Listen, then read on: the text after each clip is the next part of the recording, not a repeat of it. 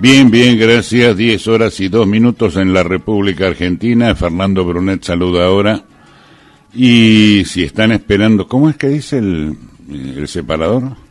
Este, que la gente está esperando al periodista, ¿no? Claro, sí. Bueno, hoy se van a quedar con las ganas, ¿eh? porque todas las notas que tenía preparadas para la mañana, los apuntes, me los olvidé en mi casa. Este... Qué problema, Fernando, ¿eh? Así que sí, va a tener que salir medio este, comentada la, la porción. Bueno, buenos días a todos. Buenos días. Buenos días. Estas cosas pasan, sobre todo a la gente mayor, ¿viste? Con el paso de los años. Y un viernes. Sí, sí, no solamente canas, este, ausencias también. Ausencias, Lagunas. Ausencias, olvidos, lagunas. Este, gente que viene y me saluda y me dice, ¿qué tal? ¿Cómo andás? Y me da un abrazo y yo le- les pongo cara porque no me acuerdo. ¿Quién es? ¿De dónde lo conozco? Se saludó bien, vino bien. Sí, seguro, seguro, seguro. Bueno, de todas maneras algo recuerdo. Yo sé que tenía pensado para hoy y espero poder contactar al intendente Barrera esta mañana, ya está la producción trabajando en esta materia. la cuestión del operativo Sol 2018 como primer tema. ¿eh? Porque ayer hubo una reunión, en realidad una reunión protocolar, en el Ministerio de Seguridad, el ministro Cristian Ritondo, disculpen ¿eh? el tono, eh, bueno, se reunió con los intendentes de la costa atlántica para ultimar detalles del operativo Sol 2018 que se lanza en el mes de diciembre. Eh, reunión, como digo, me pareció más de orden protocolar, estaban todos los intendentes de la costa atlántica, también algunos intendentes de destinos turísticos del interior de la provincia. Eh, Ritondo se limitó a hacer los anuncios habituales, más refuerzos, ya sabemos que hay una preocupación de la gobernadora de la provincia de Buenos Aires en esta materia, particularmente en lo relacionado con la lucha contra el narcotráfico, mm, que es una de sus banderas en materia de seguridad para la provincia de Buenos Aires, donde ha tenido, sin duda, algunos éxitos importantes, pero todavía muy lejos de tener una estrategia, es decir, un acuerdo político con los intendentes de los 135 distritos de la provincia de Buenos Aires en esta materia. ¿eh? Todavía falta muchísimo camino por andar. Pero una reflexión rápida en esta materia, porque salvo Mar del Plata, que tiene su propia fuerza de seguridad todo el año y recibe algunos refuerzos de la provincia de Buenos Aires para objetivos específicos, pero resuelve la porción de seguridad con la continuidad de su fuerza, de su fuerza policial y de su fuerza de inteligencia durante todo el año.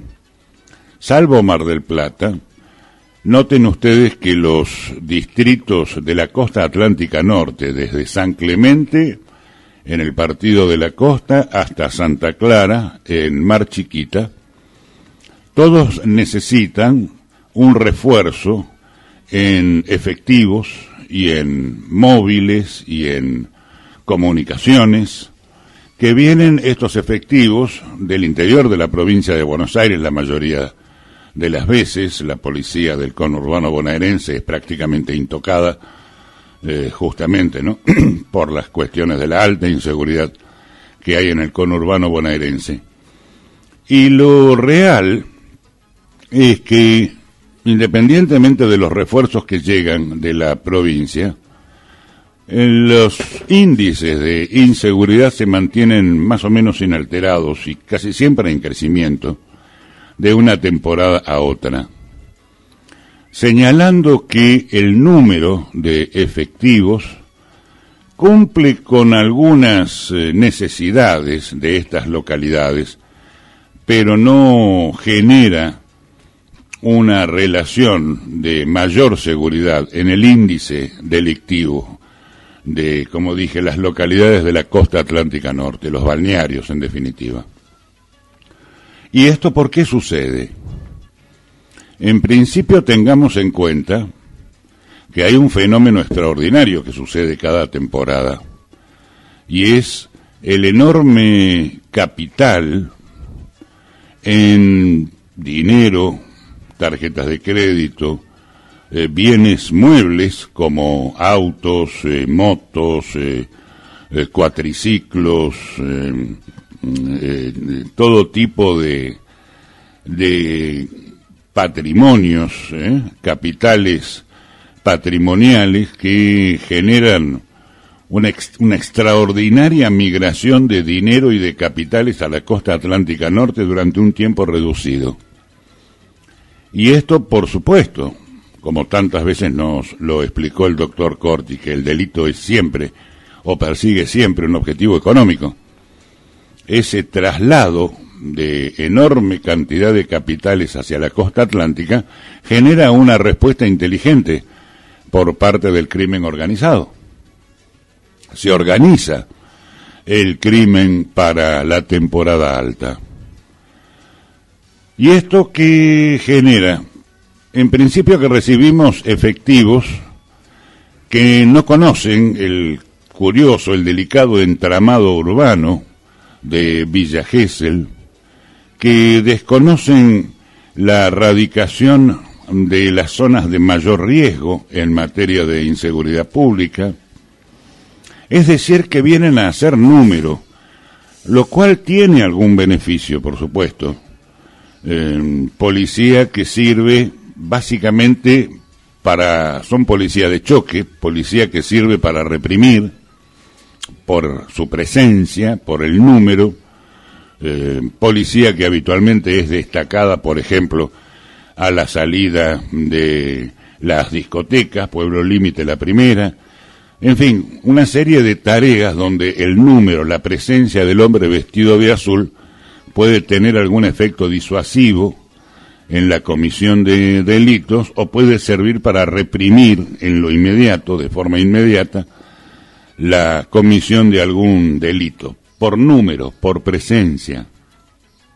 Pero luego, en la prevención puntualmente del delito, estos efectivos tienen una eficiencia muy, muy disminuida, por lo que acabo de señalar porque están operando en un territorio que les es absolutamente desconocido y además que les es también em, curioso, porque gente que viene de un entramado urbano diferente al que tenemos en Villa Gesell. Eh, policía que viene, por ejemplo, de Maipú, eh, pueblo agrario, este, tranquilo, eh, trazado con una cuadrícula más o menos uniforme, eh, que genera en el policía de esa localidad una forma de actuar que cuando quieren imponerla o practicarla en Villa Gesell no les sirve. No les sirve porque en la persecución, por ejemplo, con móviles se encuentran con calles de arena, con cortadas, con médanos, que el que es local eh, sabe cómo utilizarlas y por dónde escapar, porque para el curioso trazado urbano de Villa la policía no tiene ni siquiera los móviles adecuados para ese tipo de persecuciones. Observen ustedes que el ladronazgo aquí en Villa se practica en un 90% de los casos montados en motos, porque y porque saben de qué manera escurrirse entre los médanos, en las oscuridades, en los bosques. Observen ustedes también que cuando se comete un robo en Villa la mayoría de las veces el, la materia robada, eh, cuando son eh, cuatriciclos o electrodomésticos o, o, bienes de, de valor de esta naturaleza, no es como en el conurbano bonaerense o como en las ciudades del interior del país, que la policía puede perseguir a los delincuentes y agarrarlos cuando lo consigue, como se dice vulgarmente, con las manos en la masa, es decir, con el objeto del robo todavía caliente.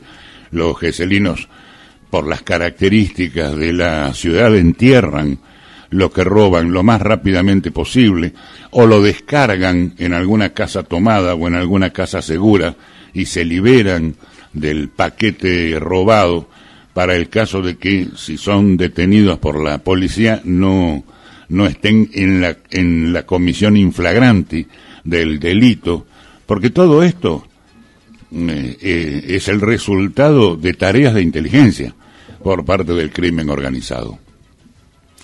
Y yo creo que allí está la clave. Ya tantas veces me han oído hablar de lo mismo, pero lo reitero por abundancia. Inteligencia es la palabra clave.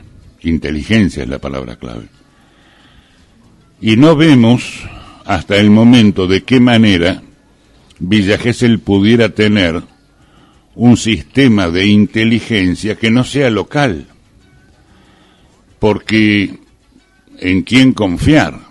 Tenemos, desgraciadamente, sospechas gigantescas de corrupción en el cuerpo, en el enorme cuerpo policial de la provincia de Buenos Aires, que no ha podido ser resuelto.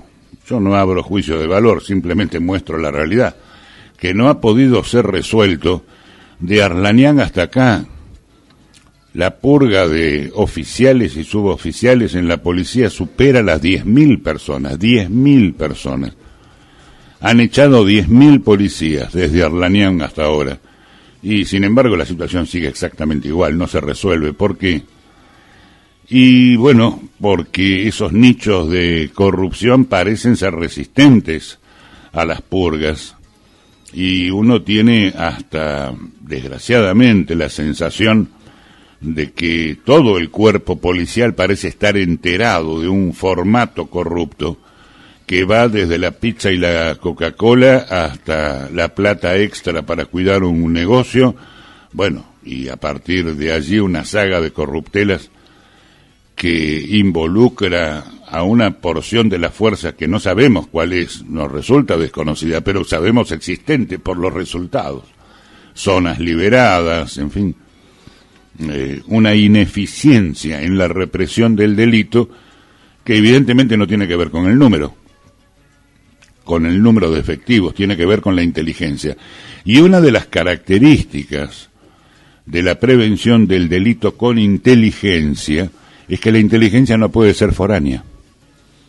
¿Por qué? Y porque no conoce la plaza, porque no conoce los entramados delictivos, porque no reconoce las familias que están dedicadas al delito, y entonces le, le, cuesta armar una tarea de inteligencia que dure solamente dos o tres meses. No hay ninguna tarea de inteligencia en materia de delitos, digo, en materia de crimen organizado, que se resuelva en dos o tres meses. Observen ustedes que cuando hay una respuesta eh, favorable para las fuerzas de seguridad en la represión del delito, casi siempre cuando son golpes grandes, ¿qué es lo primero que dice la crónica? Una tras una investigación de varios meses, eh, lograda toda la prueba suficiente, se le dio un golpe al narcotráfico o, o a los desarmaderos de autos o, a los robos en ruta, en fin, siempre son estos grandes golpes al, a la delincuencia fruto de una tarea de inteligencia realizada por un equipo específico y durante varios meses. De manera que no le podemos pedir a los refuerzos policiales que vienen a Villa Gesell por un par de meses, por 60 días como máximo, pedirles que resuelvan con tareas de inteligencia el crimen organizado en Villa Gesell. Y entonces, ¿cómo se resuelve el problema? El problema geselino, el problema de la provincia de Buenos Aires es problema de la gobernadora. El problema geselino, ¿cómo se resuelve? Si quisiéramos ordenar con trabajos de inteligencia la represión del delito en temporada alta. Y se resuelve con una fuerza de seguridad que sea capaz de hacer una investigación y un seguimiento con efectivos locales que conocen la trama del delito en Villa Gesell durante varios meses. Esto que estoy diciendo a lo mejor a alguno le suena como un descubrimiento, pero es la cosa más sencilla del mundo. ¿eh? Esto es lo que la policía sabe de antemano, no es que lo estemos descubriendo nosotros. Y esto es lo que nos llama a preocupación, que los que más saben en esta materia son los policías. Y vos decís, ¿y entonces cómo es posible que no se arme una fuerza estrictamente geselina de 25, 30 policías encubiertos que sean capaces de infiltrar a las bandas de Villa en las que tienen mayor organización durante el invierno. ¿Para qué? Y para ir observando de qué manera las bandas locales se conectan con las bandas foráneas para generar los golpes más importantes que se dan durante el verano o inmediatamente después de la temporada alta. Porque la relación que hay entre las bandas locales y las bandas foráneas es justamente que las bandas locales hacen de informantes y de soporte para las bandas foráneas que vienen mucho mejor organizadas y mejor armadas a dar los golpes grandes de temporada. Lo mismo pasa con la venta de drogas. Es imposible desarmar una red de narcotráfico en dos meses, no solamente porque es prácticamente imposible, sino porque el juez no lo admite. Al juez hay que llegarle con un IPP, con una instrucción penal preparatoria, que tenga una amplia base de datos y de pruebas que le aseguren al juez que la decisión que va a tomar, que seguramente le quita la libertad a alguien, es una decisión fundada en base cierta. La justicia lo reclama. Entonces no puede realizarse una tarea de inteligencia que otorgue base cierta a la justicia para operar como corresponde en un par de meses. Eso no existe. Esas tareas se realizan durante varios meses, hasta que los policías encubiertos logran ingresar en el entramado delictivo. Y son de utilidad porque avisan las conexiones de las bandas locales con las bandas foráneas antes que ocurran. Son vigilados ya desde el momento en el que llegan. Y de esa manera, con ese tipo de vigilancia, cuando están por dar el golpe, los agarran con las manos en la masa, con las armas, con la organización, con los celulares, con la base operativa, el departamento o la casa en la que estén parando o donde tengan el aguantadero, se determinan cuáles son los domicilios de descarga, nadie dice nada lo, se dan cuenta enseguida cuáles son los domicilios en los cuales los delincuentes descargan la mercadería robada, pero no dicen nada. Lo dejan como domicilios marcados, esperando que lleguen las bandas más profesionales a dar los golpes grandes. Porque cuando se da un golpe grande, además, el beneficio, por extensión, es que se desarma la banda y es más fácil agarrarlos uno por uno cuando se van desarmando. ¿Quién podría realizar esa tarea entonces? Y solamente el poder político. Hay una circunstancia que quiero resaltar también en esta materia, y es el tema del miedo, que me resulta absolutamente comprensible, porque se le otorga a los políticos una autoridad una responsabilidad en el manejo del crimen, cuando desgraciadamente los políticos se prestan a este manejo, en el que se les adjudica la jefatura del crimen organizado. Y no es así. Los políticos no tienen la jefatura del crimen organizado, negocian con el crimen, pero no ordenan. Y cuando ordenan es porque son capomafia. Pero si sos un político de Villa Gesell que este, quiere enfrentar a una red de narcotráfico o a una red de asaltos domiciliarios o a una red especializada en asaltos a ancianos con invasión de su morada. Y en principio hay que sacudirse el miedo.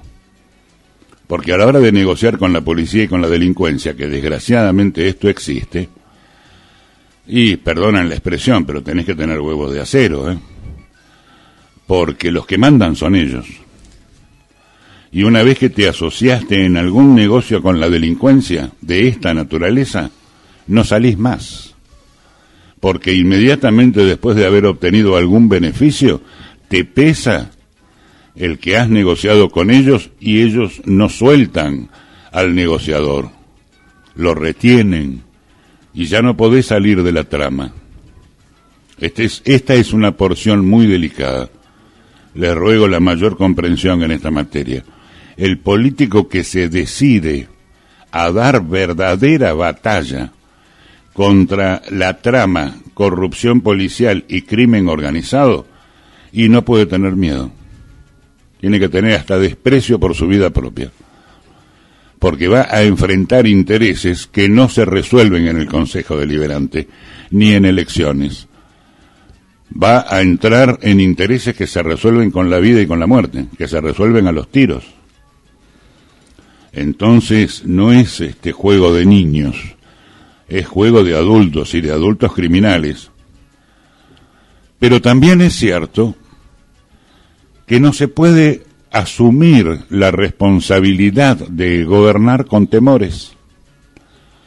Hay que sacudirse los temores si querés ser jefe en materia de política. Si querés ser segundo o tercero, siempre hay un jefe que, al que le van a cortar la cabeza que no sos vos. Pero si vos sos el jefe y tomás la decisión, bueno, vos, tu grupo familiar, tu entorno, todos participan de esa batalla. El caso más evidente, el de la gobernadora de la provincia de Buenos Aires, que vive en un búnker policial, en un búnker militar. Más claro el ejemplo imposible. Y la pregunta entonces es doble. ¿Cómo podemos hacer para sacudirnos ese miedo, por un lado? Y por otro lado, ¿y cómo ser efectivos en esa batalla? ¿Cómo armar una tropa propia de inteligencia que responda solamente a la conducción política, que sea absolutamente fiel y absolutamente eficiente, trabajando serena y calladamente durante todo el invierno, para que cuando lleguen las asociaciones entre bandas y todo este sistema que les expliqué antes, se puedan dar inmediatamente tres o cuatro golpes fuertes. ¿Y por qué? Tres o cuatro golpes fuertes.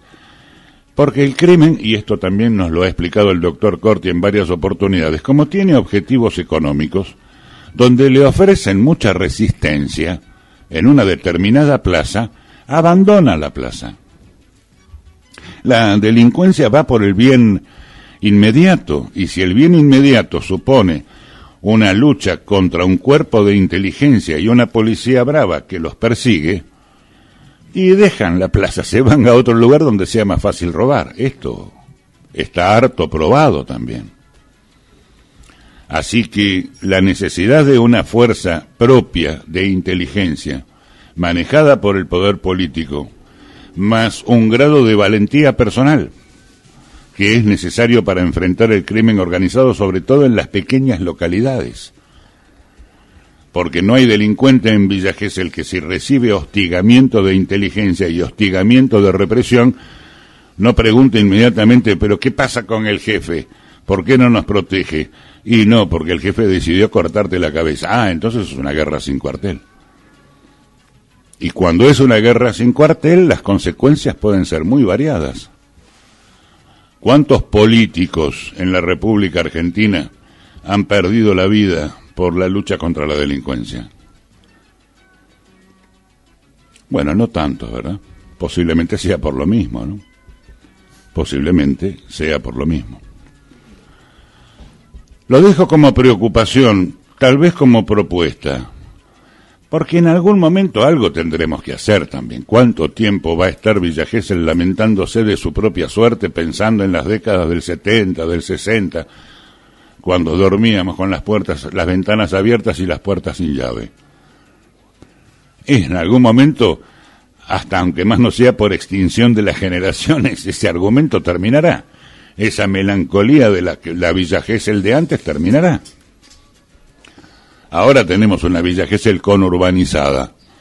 La policía y la defensa pública de Villa Gesell está organizada para responder a esa conurbanización. La respuesta es evidentísima, la respuesta es no. ¿Y cómo es que el jefe político no va al jefe policial a decirle, eh, te cuesta el cargo, te amenazo? Si no sos eficiente en la represión con inteligencia y fuerza propia, te cuesta el cargo. E, e inicia una batalla hasta que todo el mundo esté enterado que en Villa hay tropa propia trabajando en inteligencia y con fuerza como para reprimir el delito eh, cuando duele, cuando verdaderamente les duele, no en la captura del idiota que anda vendiendo porritos en la calle, no, no, al pibe que viene con cuatro o cinco kilos y se establece en un determinado lugar para organizar una red de venta. Donde demos esa señal inmediatamente. El crimen organizado reacciona y reacciona presionando a los jefes políticos. Así que es necesario soportar esa andanada hasta que finalmente eh, limpia de delincuencia a Villa Gesell. Esta es la frase que había recortado, mira, me vino a la memoria ahora, el apunte que había recortado para este editorial. Si el político, si el poder político de Villa Gesell quiere, limpia de delincuencia esta pequeña ciudad. Que vos me digas que el jefe de la policía de Ciudad de Buenos Aires, eh, con 6 millones de personas, tiene dificultades para luchar contra todo el crimen organizado, te lo creo. Que vos me digas que en una ciudad de 40.000 personas no podemos domeñar a unas mil personas que están dedicadas al delito y no somos capaces de seguirlas con inteligencia, infiltrando las bandas durante todo un año, hasta que en el momento en que salen a operar gordo, ahí estábamos esperándolos para casarlos exactamente en el momento de la máxima comisión del delito, donde el juez de garantías no puede negar la encarcelación de estas personas. Y esto hay que hacerlo. Esto hay que hacerlo. Si el poder político quiere, limpia de delincuencia a Villa Gesell. Y si no quiere, o seamos benévolos. Y si no puede, porque le faltan algunos de estos instrumentos. Y si no puede o si no quiere, no hay solución. Porque la otra porción de esta misma verdad es que si esa decisión no la toma el jefe político de la localidad, la policía no la va a tomar. No me pregunten por qué, es materia de otra investigación, pero es fácil decir esto, porque y porque a las pruebas me remito. Si en los últimos 20 años de crecimiento de la delincuencia la policía no pudo, bueno, tengo que pensar que en los próximos 20 tampoco podrá. Conclusión, ¿dónde está la llave que abre esa tranquera? Que abre esa puerta inflexible en la que no se puede entrar el crimen organizado. Y la llave está en el poder político. El mismo poder político que alienta la comisión del delito por razones que son largas de explicar, también es el que puede decir basta, se acabó, no quiero más delincuencia en Villa Gesell. Y vos decís, ¿existe algún lugar donde eso se compruebe? Sí, miles de lugares en la República Argentina. Habitualmente son los lugares más ricos. ¿Por qué? Por aquello que dijimos en la apertura del comentario, porque donde hay más dinero, donde hay bienes muebles de alto valor, es donde se concentra la delincuencia. Y mientras más dinero haya, el dinero se protege a sí mismo. Nosotros no protegemos a nuestros turistas. Anda a San Martín de los Andes a, a, a robar un domicilio de ancianos, por ejemplo, a ver cuánto tardan en agarrarte y, el voleo que te pegan terminas en el Pacífico. Anda a la misma Bariloche, con todas sus problemáticas este, de pueblos originarios y, y todo un cinturón de conurbanización que rodea Bariloche, un problema muy parecido al que tiene Villa Gesell. Pero anda a preguntarle a los barilochenses cómo es la policía de Bariloche. Donde hay dinero afincado en el lugar, hay inteligencia policial. ¿Por qué? Y porque el dinero paga, para que no le roben. Aquí todavía no hay una reserva económica local que en defensa de su patrimonio organice con dinero a la policía, porque este, esto es al mejor postor. ¿eh? Si el dinero abundante viene del lado de la víctima, este, la policía se, se ordena, sigue el billete y va en defensa de la víctima. Aquí no tenemos esa organización. Y es necesario que nos la proveyamos. es necesario que Villa Gesell se provea a sí mismo de esa defensa. Los políticos lo recontrasaben, ¿eh? Todo político que llega a una determinada altura inevitablemente empieza a tomar conocimiento de la delincuencia y de la participación de la delincuencia en la en la práctica política. Y una vez que negociaste con los delincuentes algún favor político, no te lo sacás más de encima. Aparece lo que te dije, la lucha eh, contra el miedo, hay que superar el miedo, no hay que arrugar. Va, es un pensamiento, ¿no? Diez horas treinta y tres eh, minutos, el primer comentario, este, gracias por compartirlo. Veremos si hoy podemos hablar con Barrera. ¿Qué le pediría yo a Ritondo? Al ministro de Seguridad no le pediría más policía, que me mande la que pueda, que me mande la que pueda. Lo que le pediría es dinero. Dinero, sí, para formar una tropa propia de inteligencia que trabaje conmigo durante todo el año y que cuando llegue la temporada nosotros los estemos esperando a ellos no ellos a nosotros. Que los sorprendidos por una vez sea el crimen organizado y no al revés, como nos sucede todas las temporadas. 10.33, Noticias Geselinas.